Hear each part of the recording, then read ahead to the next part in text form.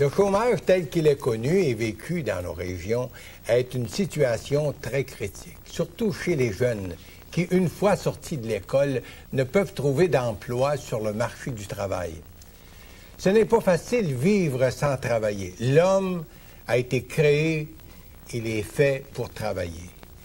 Pour plusieurs, c'est très dévalorisant. Ça peut s'interpréter comme de l'incompétence même que je suis sans valeur puis bon à rien. Il se peut même qu'un bon nombre de suicides chez nos jeunes gens sont dus au peu d'espoir que leur offre la vie au sein de notre société automatisée.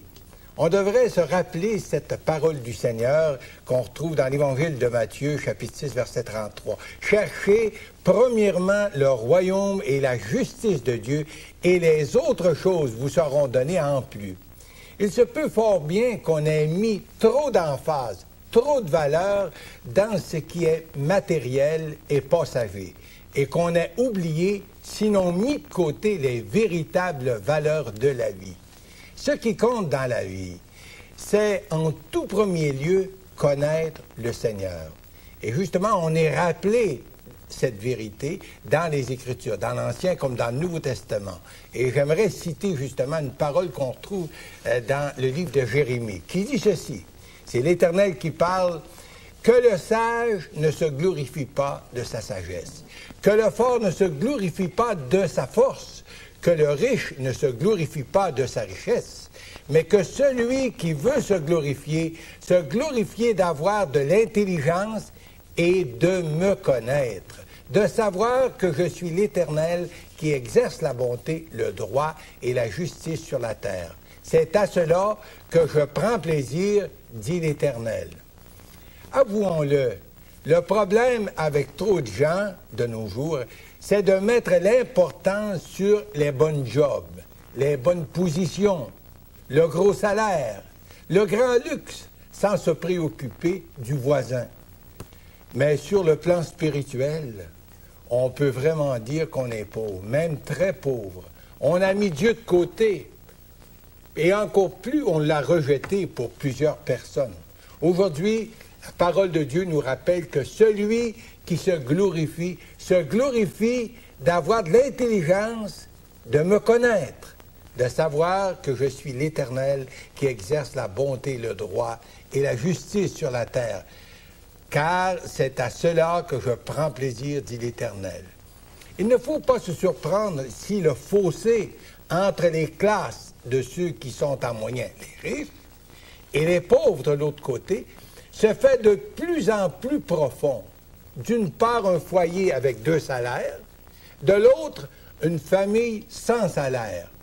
On a mis de côté, tu aimeras le Seigneur ton Dieu de toute ton âme, de tout ton cœur, de toute ta pensée et ton prochain comme toi-même.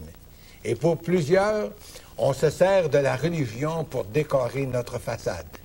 Ne croyez-vous pas qu'il faudrait revenir au principe de base, connaître le Seigneur? Jésus de nous rappeler dans l'Évangile de Jean, chapitre 17, euh, cette parole. Or, la vie éternelle, c'est qu'il te connaisse, toi, le seul vrai Dieu, et celui que tu as envoyé, Jésus-Christ, puisque c'est lui qui est le chemin, la vérité, la vie. Nul ne vient au Père que par lui. Connaître le Seigneur, c'est plus que de se donner un petit coup de fouette le religieux en assistant à l'Église quand ça nous convient.